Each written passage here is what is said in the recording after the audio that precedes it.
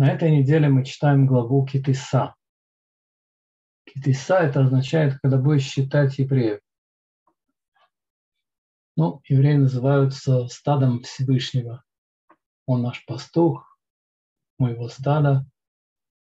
Кто-то сказал Раби Акиве, хорош тот пастух, который а, хорошо, хороша та овечка, которая в окружении 70 волков,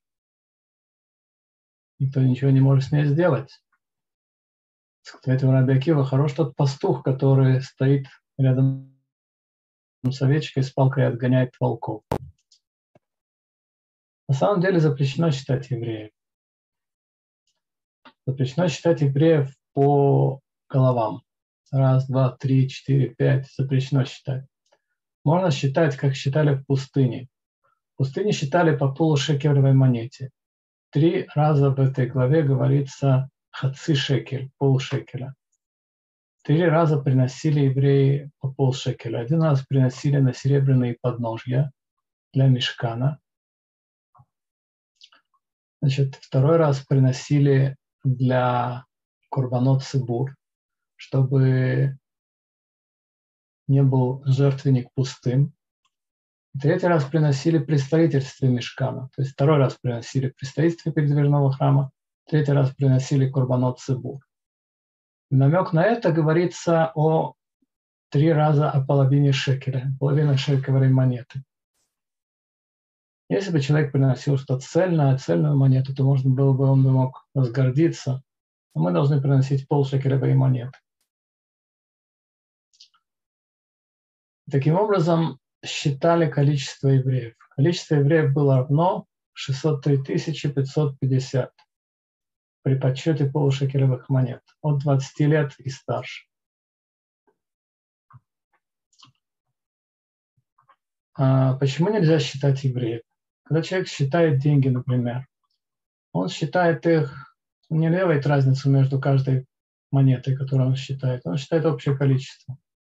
Каждый еврей – это отдельный мир, поэтому всех вместе считать нельзя. Каждый он сам по себе, каждый – это индивидуальность, каждый – шале Хашема, каждый посланник Бога, который послан в этот мир, чтобы исполнить его волю. У каждого свои испытания, каждый сам по себе. В то же время мы вместе один народ. Так начинается эта глава с подсчета евреев. Говорится, что написано «китисай» тоже на Израиле. На самом деле, когда будешь поднимать евреев, не будешь считать, а будешь поднимать. Каждый еврей должен сам себя прежде всего поднимать, понимать, что он Сын Божий, понимать, что то, что написано в Торе, «Баним атем нашем рокехем», сыну, сыны вы Господу Богу вашему. Ни в коем случае не забывать это. Помню, один раз вышел с Таханы Мерказит Иерушалайме, был в плохом настроении, шел утрученный. Там танцевали бресловские хасиды. Один из них подошел ко мне и сказал, не забывай, что ты сын Бога. О, сразу поднял мне настроение. Человек должен ни в коем случае это не забывать. Только от одной мысли об этом можно приходить в радость.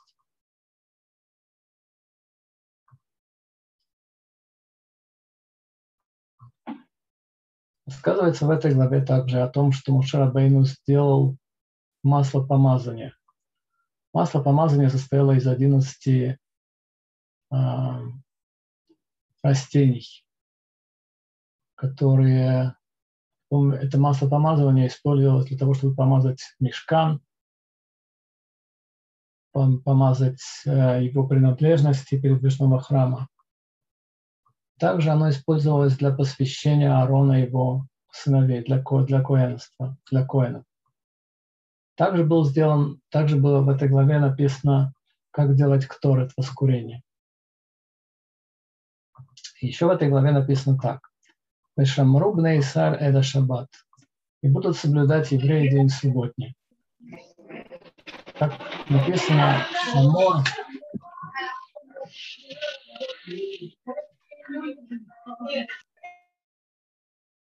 Шамор везахор бедибурха.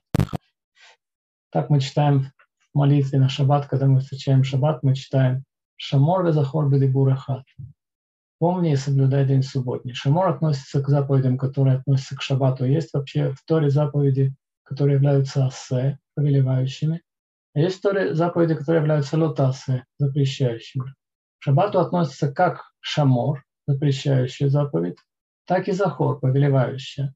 Захор – это зажигать свечи, делать кидуш.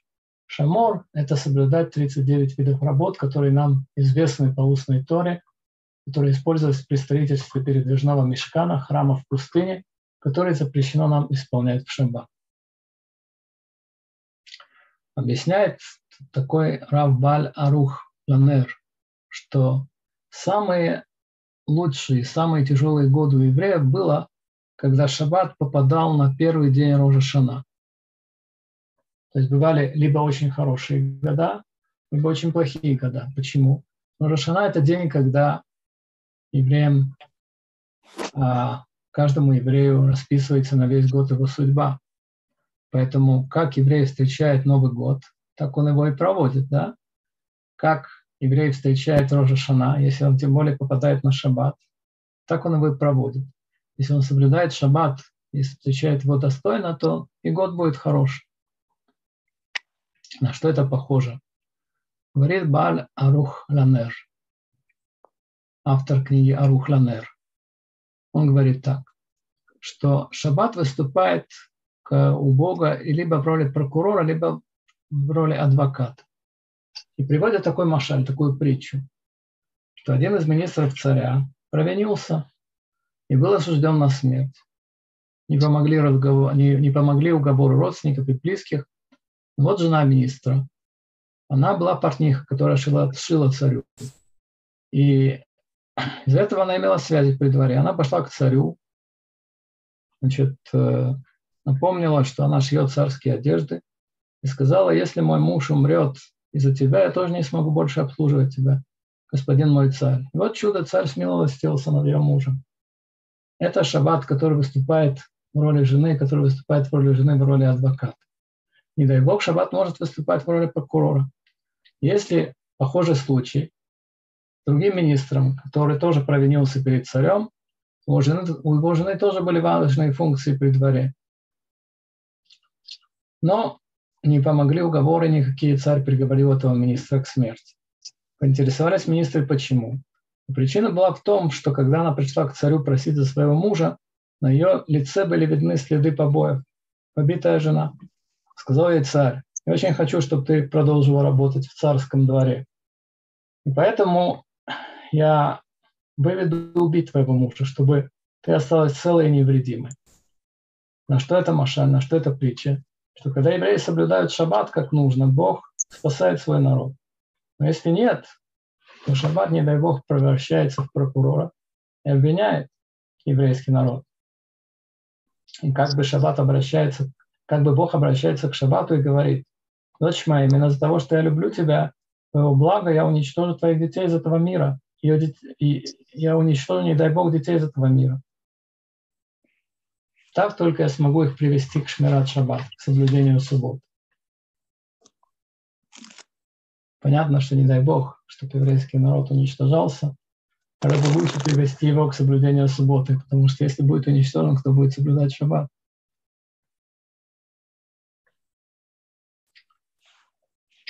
Наши мудрецы говорили, что шаббат, слово шамор, Шамор это Йома Шаббат, написано в этой главе. Соблюдай день субботний. Шамор еще означает не только соблюдай. Шамор означает жди. Жди день субботний. Так написано, что когда Иосиф видел свои сны, Яков шамар это давар. То есть ждал, когда это исполнится. Точно так же еврей должен ждать, когда придет шаббат. Уже со среды вечера можно еврею говорить другому еврею шаббат шалом со среды вечера начинаем, можно говорить шаббат шалом. Уже в среду можно человеку, в четверг, в пятницу можно человеку говорить шаббат шалом. Воскресенье, понедельник, вторник – это шаббатов. А среда уже шаббат шалом. Все дни недели надо ждать шаббат. Рассказывается такая история, что э, один раз две женщины богатые из Лондона они поехали отдыхать в Швейцарию. Сняли бунгало на 10 дней. И решили быть отрешенными от этого мира. Ни телефоны, ни телефоны, ничего. Когда они приехали во вторник улетать, им сказали, что уже среда. Получается, что в шаббат они готовили на воскресенье, потому что думали, что воскресенье – это шаббат. И пришли они, до Раф Ильяшева, который тогда жил, он сказал, спросить их, какая капара, какое искупление греха. Он сказал, основное искупление греха – основание уроков по шаббату, по законам шаббата, чтобы они основали урок по законам шаббата. Как говорит Ховацхайм, автор Мишны Бруры, в своем предисловии к своей книге он говорит, что у человека практически нет шансов соблюдать шаббат как нужно, если он не изучает законы шаббата. Мы к шаббату еще вернемся. А сейчас написано, что в начале главы, кстати, эта глава очень интересно разбита. На 7 дней каждая глава тоже разбита. Обычно эти 7 э, отрезков, они примерно одинаковые. Но в этот шаббат будет по-другому. В, этом, в этой главе довольно много предложений, 139. Ну, вроде бы надо бы разбить на 7 равных частей, но нет. Первые две части берут 92 предложения. И только остальные, все, остальные предложения, получается 47 предложений, берут 5 а, следующих дней недели. Значит, каждая глава разбивается на 7 дней недели. 7 поднимается человек к Торе. И первые двое, Коэн и Леви, поднимаются к первым 92 предложениям Торы. Почему? Чтобы евреи не стеснялись, что их праотцы служили идолам пустыне, чтобы что их праотцы сделали золотого тельца. Того, что колено Леви не участвовало в грехе золотого тельца, из-за этого, чтобы, они, чтобы евреи другие не стеснялись, читают, а, читают главы, которые касаются изготовления золотого тельца, читают в первых двух, а, первых двух днях недели. Написано также в этой главе «Венатну Иш кофер навшу. То есть эти три полушекелевые монеты, которые, кстати, дают самый лучший день, когда давать эти три полушекелевые монеты, это эм, Минха в Танит Цибур, в Танит Эстер. Минха в пост Эстер. Значит, у нас в этом году попадает Пурим. Через месяц он будет. Сегодня у нас наступил Пурим Катан. А через месяц у нас будет настоящий Пурим. Так вот, настоящий Пурим наступает в других городах Израиля, кроме Иерусалима, в среду вечером. В среду с утра до вечера у нас есть пост. В Иерусалиме а, Пурим наступает в четверг вечером. У нас есть пост в среду. И в Минху на Танит Цибур, на пост Эстер, принято давать три полушекеровые монеты. У ашкенадских евреев принято давать три по-настоящему полушекелевые монеты. Понятно, что если на, на бедных, понятно, что если человек хочет добавить задаку, он может добавить. У сафарских евреев дают стоимость этих. В этом смысле, если кто поскупее ему, э, в смысле трех полушекелевых монет, легче быть ашкенадским евреем. Значит, сафарские евреи дают стоимость полушекелевых монет, это примерно 10 граммов серебра, примерно составляет 25 шекелей, то есть 75 шекелей. Если кто-то из ашкенадских евреев решит дать 75 шекелей, тоже не проблем. Почему дают, лучше всего давать эту вещь в, для бедных в Танит Цибур, в пост? Потому что есть цом, коль, мамон. Потому что перед Минхой цом, пост, Минху молитва, коль, мамон – это деньги. Это три самые лучшие вещи, которые могут быть у еврея. Сом, коль и мамон. Пост, голос и имущество.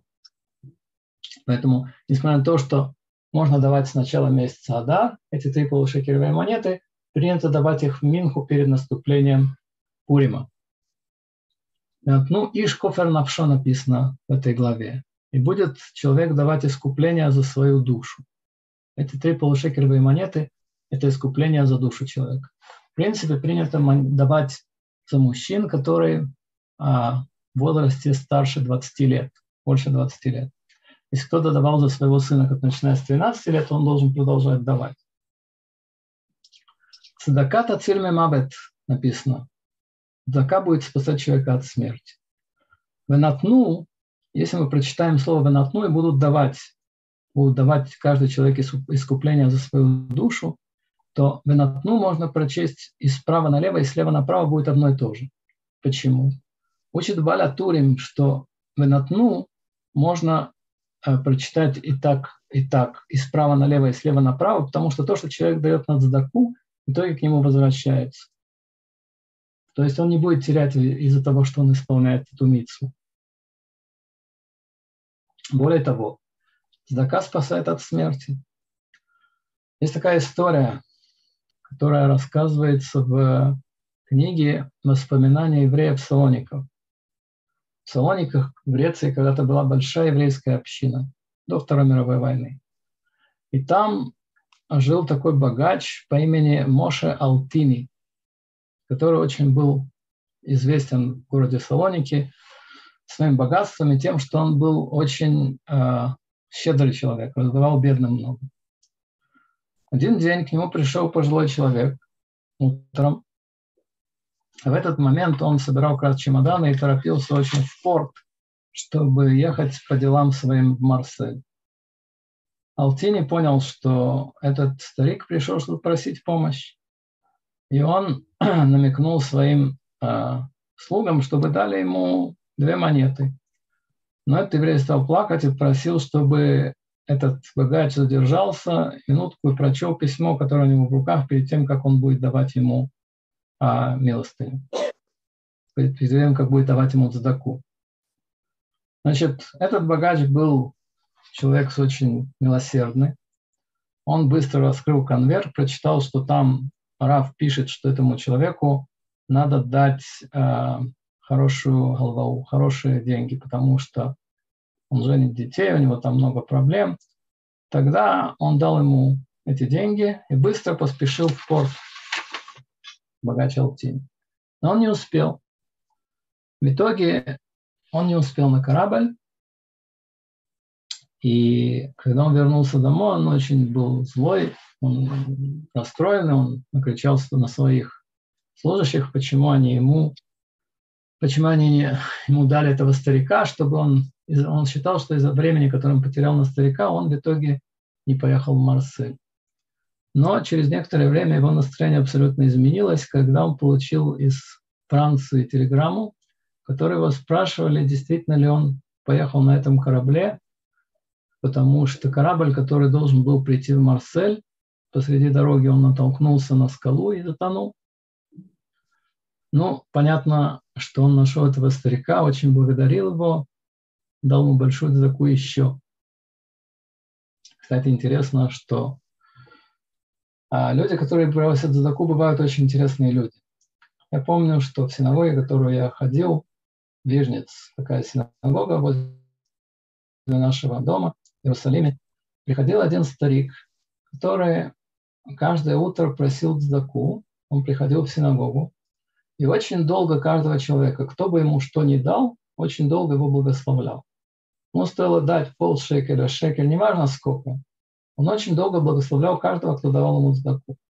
Вот помню, я один раз встал довольно поздно, пришел на меня, поздний меня, примерно в полдесятого или к десяти. Я увидел, что этот старик тоже молится. Вдруг он ко мне подошел и говорит, а ты знаешь, почему я поздно молюсь? Я его не спрашивал, он просто сам решил мне объяснить. Я говорю, почему? Потому что, говорит, моя профессия, то, что я прошу за такое, это у меня из поколения в поколение. Мой, мой отец просил, мой дед просил. И я так получил по традиции от своих отцов, что благословение, которое я благословляю людей, засчитывается как молитва. Поэтому ты не думаешь, что я так поздно молюсь, что я только начинаю молиться. Я уже начал молиться очень давно, несколько часов назад, когда я только начал проходить по синагогам. А сейчас я молюсь, продолжаю свою молитву. То есть он засчитывал те брахот, которые, те благословения, которые он благословлял людей, он засчитывал как свою молитву.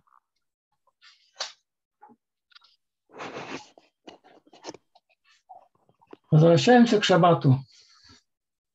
Мы уже сказали, что то, что написано в Торе, Пешамрудна Исраида Шаббат, Ушмартем это шаббат кикода жилахем. И соблюдайте этот шаббат, потому что он будет вам святым.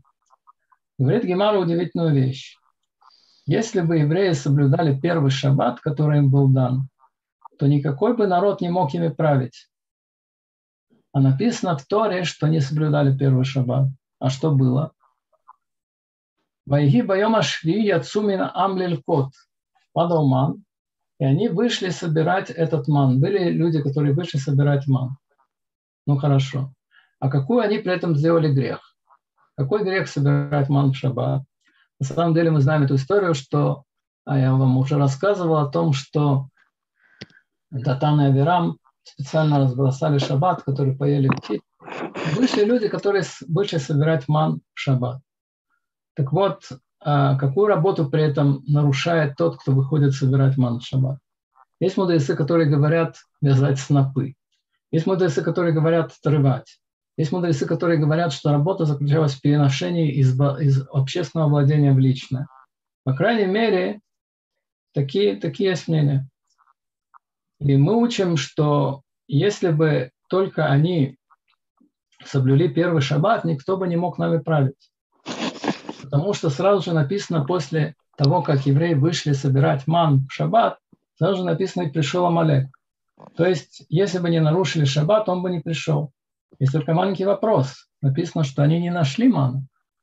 А если они не нашли мана, то что же они нарушили? Те, которые пришли, мы сказали уже, что птички поели этот ман. Так что же они нарушили, если они вышли собирать, э, если они вышли собирать ман, ничего не нашли? Что же, что же они нарушили тогда? Значит, если так, то почему вообще Гемара им говорит, что если бы не нарушили первый шаббат, не, был, не правил бы над нами, не правил бы над нами ни один народ?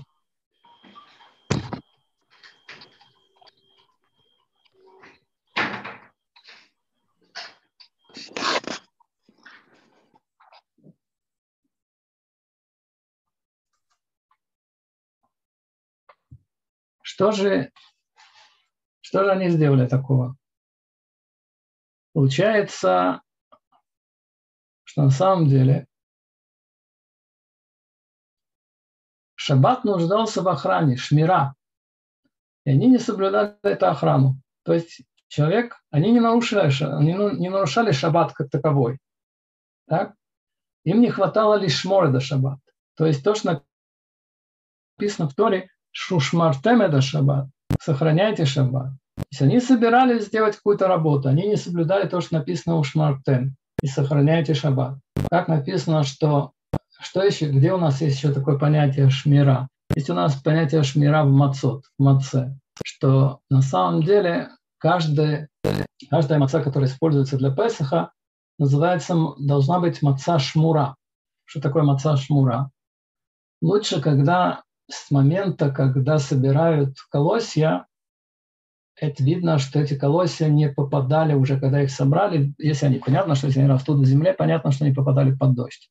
Но с тех пор, как их собрали колосья пшеницы, эти колосья не были в каком-то месте, которое было э, под дождем, или они не были э, во влажном месте.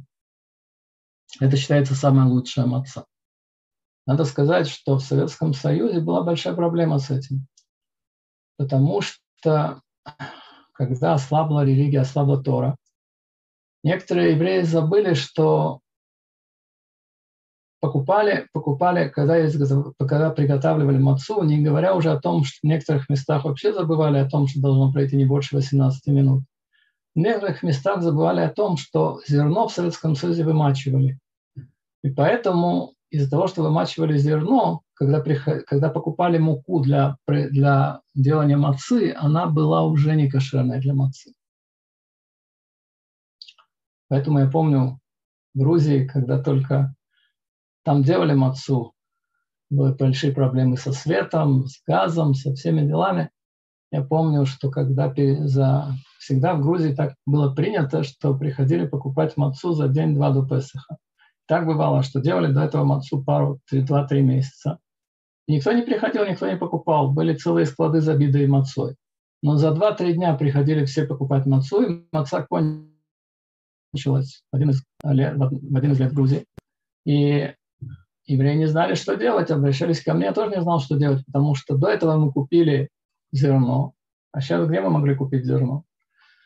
И тогда был такой у нас в общине цадык по имени Габриэль, праведник, кто работал машгехом на этой маце. Вот там мне бедного и били, и, и часы у него отнимали, потому что часы у него воровали, потому, потому что он следил, чтобы было бы строго не больше 18 минут. Я помню, что покупал ему за небольшие деньги несколько пар часов. Так вот, он сказал, я найду зерно. Он поехал на рынок, у него была машина «Москвич», которая ездила на Мицву только. Вот он поехал на рынок, и он достал зерно. Было большим чудом перед Песхом достать зерно, которое вообще не продается на рынке. Он достал зерно, привез его в синагогу, и так была маца в Тбилиси. Написано Шмартем это Шаббат. Соблюдайте день Шаббат. Шаббат – это источник благословения для еврейского народа. Я помню, как много лет назад ко мне пришел один из моих родственников и сказал мне такую фразу. Бог меня, наверное, очень любит. Я запомнил эту фразу, теперь я ее часто повторяю, когда мне плохо. Бог, наверное, меня очень любит. Почему? Я спросил его, почему так думаешь? Он сказал, потому что если бы не любил бы, не замечал бы. У меня сейчас все пошло крахом. Все, что шло хорошо, все пошло крахом. И бизнес, и все. У меня просто все идет крахом. Я остался в долгах. Что мне делать? Что мне делать, чтобы расположить к себе Всевышнего, он меня спросил. Он сказал, я не знаю, это большие люди должны решать, но я думаю, что прежде всего надо начать соблюдать шаббат. Давай поедем к Большому Равину в Бнейбрак и спросим у него. Мы поехали к Большому Равину, тогда моим раввином был Рабхайм Грейнеман из Бнейбрака, он сказал то же самое. Надо начать соблюдать шаббат. Шаббат – источник благословения. Начал соблюдать шаббат, и все, слава Богу, у него вернулось. Слава Богу. Написано про шаббат, что шаббат – это знак – между мной и еврейским народом. Так говорит Всевышний про шаббат. Говорит Хопецхайм, что шаббат – это как вывеска, как если у сапожника, например, нет вывески, что здесь работает сапожник, то никто не понимает, что здесь работает сапожник. Как у портного должна быть вывеска, что здесь работает портной, так шаббат такая вывеска перед евреем, что он еврей. Шесть дней Бог творил мир, седьмой день отдыхал. Это день отдыха и святости. Рассказывается про правителя Иудеи, Гоя, э, римлянина, римлянина по имени Торносропос, который спросил Раби Акиву, чем отличается шаббат от других дней недели? Сказал ему Раби Акива, а чем ты отличаешься от других людей? Сказал ему наместник, меня назначил император Рима, Поэтому я более важен, чем все остальные люди. Талму Раби Акива Всевышний осветил день Шаббат из всех дней. И этим он восхваляем из всех дней. Спросил его тот Торнос Ропос. У тебя есть доказательства важности Шаббата? Может быть, вы перепутали его с другим днем? Ответил ему Раби Акива. Есть такая река по имени, по имени Самбатион, все дни недели она кипит, она такая э, река, которая горная, и она переносит камни. Но в день шаббат она останавливается и не перебрасывает камни. Ну, сказал ему э, это Насропос, эта река далеко, я не смогу ее увидеть. У тебя есть еще доказательства? Ответил ему Раби Акива так. Ты можешь делать кшафин, ты уме... римляне умели колдовать, ты можешь колдовать и вызывать душу своего отца, который находится там. Он не сказал, где, я думаю, в аду. Но в шаббат ты не сможешь это сделать. И так и было, что в день шаббат на самом деле отдыхают не только на земле, отдыхают и на небесах. Кстати, Явец, который составил шаббатнюю молитву Лехадуди, пишет, что можно еще увидеть такой симан, такой признак, что в шаббат можно увидеть, что голуби не отрывают от деревьев. День шаббат. Потому что нельзя в шаббат отрывать от деревьев. Даже голуби это понимают, не отрывают от деревьев. Если, а, если голубь чувствует шаббат, то тем более человек должен почувствовать. Рассказывается про одного нееврея, которого звали Рабиоханан бен Порат. Он принял гиур. Почему он принял гиур? Говорится, что он стал евреем. С каких пор? Он купил корову у еврея. И эта корова была настолько привыкшая, что она отказывалась работать в шаббат. Он хотел работать в шаббат, он не собирался отдыхать в шаббат. Поэтому он пришел к еврею, хотел вернуть ему, сказать, что он не хочет такую корову, которая не работает в шаббат. Тогда еврей прошептал на ухо корове, что на самом деле она сейчас не в его владении, не у еврея, и поэтому ей надо работать в шаббат, ничего не поделаешь. И когда это услышал этот нееврей, новый хозяин коровы, решил, что если корова понимает, что надо соблюдать шаббат, то тем более он он. И он Гимар называет Бен Пора, потому что не, нельзя его называть Бен Пара. Да, это было бы некрасиво назвать его того, что он, но от коровы он пришел к иудаизму того, что от коровы он пришел к тому, что надо соблюдать шаббат. Шаббат – это основа еврейского народа.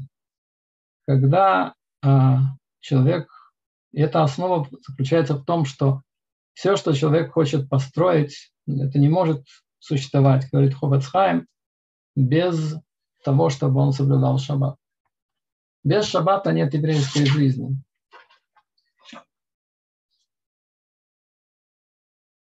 Каждый, каждый эров шаббат мы говорим такую молитву, которую составил, как я уже сказал, Раби Ябет, слехаду дили краткалапна и шаббатный кабала. Пойдем, друг мой, навстречу субботе, будем встречать невесту. Ликрат шаббат лехува нельха кигиме кора браха. Пойдем, друг, навстречу субботе, потому что она источник благословения. Шаббат – это источник благословения.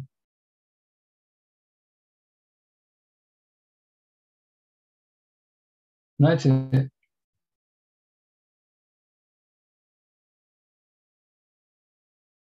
люди бывают, что они хотят получить какое-то благословение в жизни. Они приходят к каким-то большим равам и приходят к бабам, так называемым, просят у них благословения. На самом деле, если мы считаемся в эти строки Раби Явица, то мы увидим, что источник благословения не надо приходить никаким бабам. Источник благословения – это шаббат – Баба, я имею в виду а, так называемого равина, который строит из себя каббалиста. Шешет ямим тасе мелаха. Шешет ямим ясе мелаха. Шесть дней будет делаться твоя работа. То есть шесть дней будет делаться твоя работа. Если ты будешь соблюдать шаббат, у тебя будет ощущение, что работа делается сама по себе. шаббат нельзя разговаривать так, как разговаривают в будни. Человек должен в шаббат... Известно было, что, например, в шаббат даже амга арецы, простолюдины, они не обманывают. Поэтому, например, верили простолюдину, который говорил в шаббат что-то, если он говорил про шаббат, что это каш... шаббат он говорил, что это вещь кошерная, ему верили, хотя обычно ему не доверяли. Потому что в шаббат даже Амха Арец, простолюдин, он не лжет. Так было, по крайней мере. А бывает, когда люди делают насмешку и шаббата. Бывает, когда люди говорят, не в шаббат будет сказано, или начинают говорить, что эта вещь стоит, например, как рассказывают такую смешную историю, которая ну, смешная относительно, ой, смех сквозь слезы, которая была в синагоге. Когда один пришел в синагогу и говорит, послушай, обращается к другому и говорит, я слышал, ты продаешь машину. Да, я продаю машину, не в шаббат будет сказано. Не в шаббат будет спрошено. Я тебя хочу спросить, сколько она стоит. Не в шаббат будет сказано, она стоит 40 тысяч апельсинов. Ну, не в шаббат будет сказано, я подумаю. На следующее утро он приходит и говорит, я согласен, я тебе заплачу 40 тысяч апельсинов. Он говорит ему, не в шаббат будет сказано, я ее уже продал. Бывает такое, к сожалению.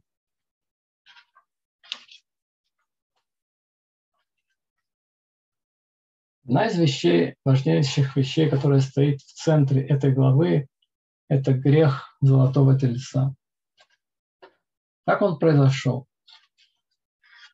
Когда евреи приняли Тору, после этого Моше Бену сказал, что он поднимается на гору Синай на 40 дней, и он возвратится через 40 дней. Он имел в виду, не засчитывая тот день, когда он поднялся. Когда он поднялся 7 Сивана, евреи получили Тору 6 Сивана, 7 Сивана он поднялся. Не засчитывая, он имел в виду тот день, когда он поднимается. Но евреи решили, что 40 дней считает этот день. Значит, 16-го Тамуза евреи ждали Мушерабейну, что он спустится с горы Синай, и он 40 дней там пробыл, Понятно, что он не совсем был как человек, он почти как ангел. И 40 дней он не ел, не пил. Так может человек выдержать 40 дней без еды и питья? Понятно, что не может. Что он был как ангел. И поэтому, когда Мушера Бейну не спустился с горы Синай, они сказали Аарону, Кум аселану Элохим, кизе Моше Аиш ло ядану мехаяло. Встань и сделай нам Бога. Потому что Муше – человек, мы не знаем, что с ним произошло. Говорится, что по той дороге, которой человек хочет идти, его ведут. Что когда евреи впали в сомнения насчет Мушарабейну, Сатан еще поддержал им это сомнение. Он, он показал им, типа, у них было такое видение, они не видели, типа, носилок на небесах, на которых несут Мушарабейну, будто его хоронят. Это было ложное видение. Но это то, что Сатана сделал с еврейским народом. Так э, Муше Рабейну не спустился 16-го, и вся, весь ужас Золотого Тельца произошел практически за один день. За один день евреи сделали Золотого Тельца, расплачиваемся мы по сегодняшний день за этот грех. Говорится, что два самых тяжелых греха есть в истории еврейского народа. Один грех по отношению к другому человеку – это грех братьев, которые продали Иосифа. И второй грех по отношению к Всевышнему, то, что евреи сделали золотого тельца в пустыне. В чем была основная причина? Почему этот грех? Ведь говорится, что сатан не говорит человеку сразу «иди служи идолу». Он действует постепенно. Точно так и шейцерара, злое побуждение. Оно не говорит человеку сразу «иди служи идолам». Вначале оно говорит человеку «пойди сделай такой-то грех небольшой, потом еще какой-то, потом еще какой-то». Потом этот грех, который делается много раз, он становится разрешенным, тогда человек оказывается на краю пропасти, и он уже полностью в руках сатаны. Так вот, как же произошло то, что евреи пришли и сказали Аарону, мало того, что Моше не пришел, так сделай нам Бога, который мы не знаем, что произошло с этим человеком Моше. Ведь на самом деле Аарона оставил Мушерабейну себе на замену. Они пришли к Раву говорить, что ему делать. То есть понятно, для чего нужен Рав. Рав нужен для того, чтобы его спрашивать, что делать. Они должны были прийти к Аарону и сказать ему, что нам делать. Вот Мушер Бейну задерживается, мы не знаем, что делать. На самом деле положение было отчаянным. Мушер Бейну был для них очень, начал для еврейского народа очень много. На что это похоже? Представьте себе картину, что у нас летит самолет, положим из Тель-Авива в Нью-Йорк. И вдруг э, стюардесса говорит, что в, в микрофон, что у первого пилота произошел разрыв сердца, он умер. У второго, второго пилота произошел разрыв сердца, он умер. Не осталось того, кто, ведет, кто будет вести самолет. И, конечно, самолет может лететь на компьютерах, но сажать-то его должен человек, сажать его должен летчик.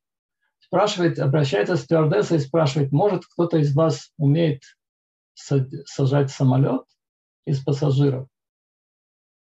Понятно, что страх, ужас, какой кошмар, как они сядут. Вдруг кто-то встает и говорит, что вы знаете, что если вы все соберете то золото, которое есть у вас, я сделаю из этого золота робота, который посадит этот самолет. Я специалист в этих делах. И тогда можно понять, это Маша, это притча про то состояние еврейского народа. Они оказались как пассажиры самолета, в котором, в котором, в котором нет летчиков, в котором некому посадить. Некому посадить этот самолет. И они сказали Аарону, встань и сделай нам Бога. Потому что этот человек, Моше, который... Он человек, он всего лишь человек, он 40 дней пробовал на небесах, наверное, он умер несчастный. Поэтому мы не знаем, что с ним случилось. Но они не должны были приходить к Аарону и говорить ему, что ему делать. Они должны были прийти к Аарону и спросить, ну что, что нам теперь делать? Они приходят к Аарону и говорят ему, что ему делать, что ему надо сделать для них золотого тельца, который им заменит Моше. Это такой символ, телец. Сказал им Аарон, пойдите принесите, Аарон был равом в то время их. Сказал им Аарон, пойдите принесите золото ваших жен и ваших сыновей, ваших дочерей. Возьмите, ну вы знаете, что забрать золотые украшения у женщины это непросто. Арон на это и рассчитывал. Что они сделали? Они принесли собственные золотые украшения.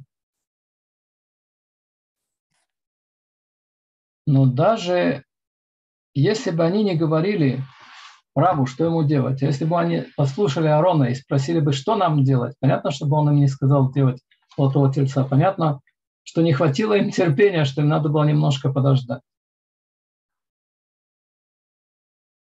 Когда спускается Моше Бейну он говорит такую вещь. Теперь левиты, кто за Бога, тот ко мне, да? Ему, ему, а, к нему идут все левиты, колено Леви обращается к нему. Когда он говорит, что вы должны убить человек каждый своего брата. Какого брата? Объясняет Раши брата по матери, потому что колено Леви не участвовало в если это был бы брат по отцу, это был бы человек из колена Леви, но никто из колена Леви не участвовал в грехе золотого тельца. Поэтому брата по матери. Три тысячи человек. Спрашивает Нациф, из Вало... спрашивает Нациф, где мы находим такую вещь, что Бейдин убивает три тысячи человек за один день? Где это слышно, что еврейский суд убивает каждый за три тысячи человек? А разве весь народ согрешил в грехе золотого тельца. И на самом деле, это не говорил еще, на самом деле в грехе золотого тельца участвовал Эрофрав, участвовал спорище народов, который Моше Рабейну взял, не спросив, не посоветовавшись со Всевышним, делал из Египта и решил, что если это люди, которые хотят стать под крылья Шхины, под крылья Бога, почему им не стать? Так э, почему он говорит колену Леви, и убейте каждый человек своего брата. Брата имеется в виду по матери, я так опять подчеркиваю. Говорит Нанциф так, что когда Моше Рабейн услышал, что они пришли к Аарону, как он ему рассказал, и сказали ему, что ему надо делать, он понял, что так невозможно продолжать. Когда нет иерархии, когда нет рава, когда нет лидера, когда нету человека, у которого слушают, которому э, доверяют, нету этого поколения продолжения. И увидел Моше народ, что он паруа, что он распустился. Даже тот, кто еще не служил идолам, он был паруа, он был распущенный, без страха перед небесами, без страха перед Бейдином, без страха перед лидерами народа. Понятно, что такой Ваякуму Лицахек написано утром, когда, когда встали утром евреи, они стали насмехаться Эцелхек, говорит Раша, это язык убийства, кровосмешения и поклонство. И еще увидел Моше Бейну, что если бы что убили Хура, это был Хур, был сыном Мирия и То есть не только, не только на самом деле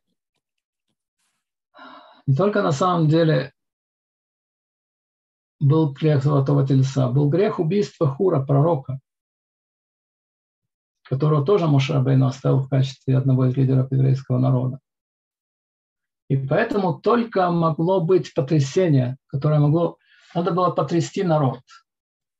И тогда Мошерабейну сказал, что только если будет такое потрясение, что 3000 человек будет выбито в один день, только тогда они смогут прийти в себя, что еврейский народ придет в себя. И дай Бог поколение, которое судит своих раввинов, своих судей.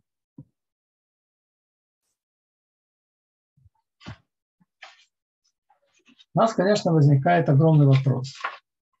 Как могло такое произойти, что Аарон сделал тельца? Для того, чтобы это понять, мы должны, мы должны обратиться немножко в историю. После того, как евреи попросили у Хура, пророка, чтобы он сделал им золотого тельца, он отказался, его зарезали. После этого пришли к Аарону, просили, чтобы он сделал им тельца. И Аарон, которого увидел, что Хура убили, сделал им золотого тельца. Ну, разве это лидерство? Разве это лидерство, чтобы увидеть, что убили другого, и Арон что испугался евреев, испугался того, что его тоже убьют, и потому он сделал золотого тельца? Чтобы получить ответ на этот вопрос, мы должны немножко заглянуть в еврейскую историю. После того, как еврейское государство разделилось на два, Израиль и Иуда, значит, в одном из государств Израиль жило 10 колен, а в другом жило колено Иуды и Бениамина. Это было государство Иуда. Теперь, на самом деле в разные исторические периоды отношения между этими государствами были разные. Было, что даже доходило до братоубийственной войны, не дай бог. Но было, в основном они ладили. Так вот, э, хотя в, хотя в государстве Иуда все было гораздо более кошерно, чем в государстве Израиль. Наверное, поэтому 10 колен были изгнаны и они вернулись. Мы не знаем историю 10 колен, куда, в какой народ они превратились и что с ними стало. Есть спор в Гемаре по поводу того, когда придет Машех, 10 колен снова вернутся или нет. Так вот, когда разделилось государство Израиль, когда еврейское государство разделилось на две части после смерти царя Шлому. Через какое-то время царь Иуды взял в жены Аталию, которая была дочь злодея Ахава, царя Израиля. Когда, когда царь Иуды умер, то царство перешло к его сыну Ахазьяву, который также был, также был сыном Аталии. Значит, получилось, что два царя, которые стояли во главе двух еврейских государств, были дядя и племянник. Ахазия был царь Иуды, и он был также племянником Иорама, сына Ахава, который правил над государством Израиль. Теперь Егу убил Иорама, и также погиб в это время Ахазия. То есть в один день произошло два события погибли и царь Иуды, и царь Израиля. И Аталия, мать Ахаз, Ахазия, увидела, что умер ее сын. И что она сделала? Она была большая злодейка. Она сказала, мой сын умер, а сейчас кто будет царем? Его сын. Понятно, что я не буду из этого царицей. Что она сделала? это, это, это злодейка бабушка, что она сделала? Она убила всех своих внуков из э, колена, из, из потомства Иуды, из, из Иуды. Единственный ребенок, который остался живым, был Иоаш, который был сын Яхазьяу. То, соответственно, он был внуком Аталии. С другой стороны, он был единственным, кто остался из царства дома Давида. Всех остальных она убила. Иудая, Иудая который был Коэн Гадоль, был первосвященник, он спрятал на крыше а, на крыше Кодаш Кодашин, на крыше Святая Святых он прятал, потому что он понимал, что туда не зайдут, потому что туда заходили раз в 70 лет. Он прятал там в течение шести лет этого отпрыска царя, которого звали Иоаш. И Иояда а Коэн в итоге он сделал переворот. И после того, как убили эту злодейку Аталью, то возгласили, что царем будет Иоаш. И так Иоашу было 7 лет, когда он стал царем. Ну, с тех пор Иоаш, для того, чтобы он Иояда его спас, Иояда Коэна Гадоль, первосвященник его спас, то он слушал его во всем. И слушал все, что он ему говорил. Иода Коэн был цадык, был большой праведник, поэтому все шло хорошо в государстве Иуда. Через 40 лет умер Иояда, и его сын Захария стал вместо него Коэн Гадолем, первосвященником. Добавок он был также пророком. В то время советники царя Иоаша заморочили ему голову. Они ему сказали, смотри, написано в Торе Веазара Кареф Юмат. Если чужой приблизится к храму, тебя прятали на э, крыше Кодаш Кодашим, святая святых. А написано в Торе, что тот, который чужой зайдет туда, он умрет. А ты там прожил 6 лет и не умер. И если ты из колена Иуды, и ты чужой, как могло произойти, что ты мог прожить 6 лет на крыше Кодаш Кодашим, святая святых, и не умереть?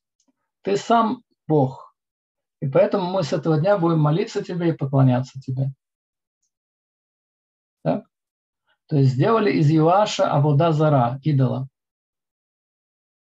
На самом деле еврей должен очень этого опасаться, чтобы из него не сделали идола. Говорится, что одна из причин, почему Яков, наш праотец, не хотел быть похороненным в Египте, он не хотел, чтобы египтяне сделали из его могилы место идолопоклонства. Ну что, эта идея нашла милость в глазах царя Иоаша, несмотря на то, что он слушал всю свою жизнь Иояда, яда уже не, не было в живых, и поэтому он вообразил себя Богом. Пришел Захария, Коэн Гадоль, первосвященник, который также был пророком, начал его упрекать. Начал упрекать людей, которые ему служат как идолу. Как можно такое допустить, служить идолу в Иерушалайме? Бог ведь нас оставит. И царь приказал его убить во дворе храма. То есть в результате того пророк, который не нашел милость в глазах царя, его приказали убить в Йом-Кипур, который наступал в Шаббат. Захария убили в Йом-Кипур, который наступал в Шаббат. И не помнил Иоаш, царь, милость, которую сделал с ним отец Захария Иояда, Коэн Гадоль. Рассказывает Гемара Гитин, что через 200 а, лет после этого события пришел на Навузарадан, который был, который был а, начальником армии Навуходнецера. Он пришел и увидел, что кровь Захария кипела во дворе храма. То есть 200 лет она кипела во дворе храма, требовала своего искупления. Спросил Навзарадан у Коэнов, почему здесь кровь кипит? Сказали ему Коэны, что это кровь жертв. Он им не поверил. Он сказал, если вы, это не кровь а, животных или птиц, если вы мне не скажете правду, то я вас сниму с вас кожу живым. Не было у них такого выбора, они сказали ему правду. Они сказали, что 200 лет тому назад было событие, что убили пророка, который упрекал, и что его кровь не успокаивается до сих пор. Сказал нам Зарадан, я успокою его. Он убил там тысячи, тысячи, тысячи евреев, и кровь не успокаивалась.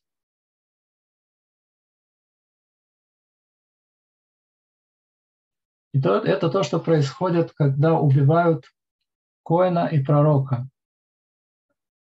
Арона Коэн знал Берога Кодеш. Он знал Святым Духом все, что будет. И что он видел? Он увидел Хура, который был убит перед ним, который был пророком. И он сказал, если я не буду, он сказал себе, если я не сделаю им золотого тельца, они убьют меня, как они убили Хура. И тогда исполнится то, что написано, если будет убит в храме Коэн и пророк. И не будет больше еврейского народа исправления никогда. Пусть они лучше, пусть они лучше служат идолу, и они вернутся потом и сделают чего и раскаются. То есть на самом деле Арон понял, что если его убьют, то он попадет в место, он попадет в Ганедон. Понятно, сразу он попадет в Ганедон, в рай. Но при этом еврейский народ будет обречен на уничтожение. Получается, что ради еврейского народа Аарон лишил себя будущего мира. Он сказал, что я не хочу будущий мир, если у еврейского народа не будет исправления. И это была причина, почему Аарон сделал золотого тельца. Понятно, что этот вопрос очень сложный, очень непростой. По крайней мере, мы не видим, чтобы а, Аарон получил какое-то наказание за это от Всевышнего.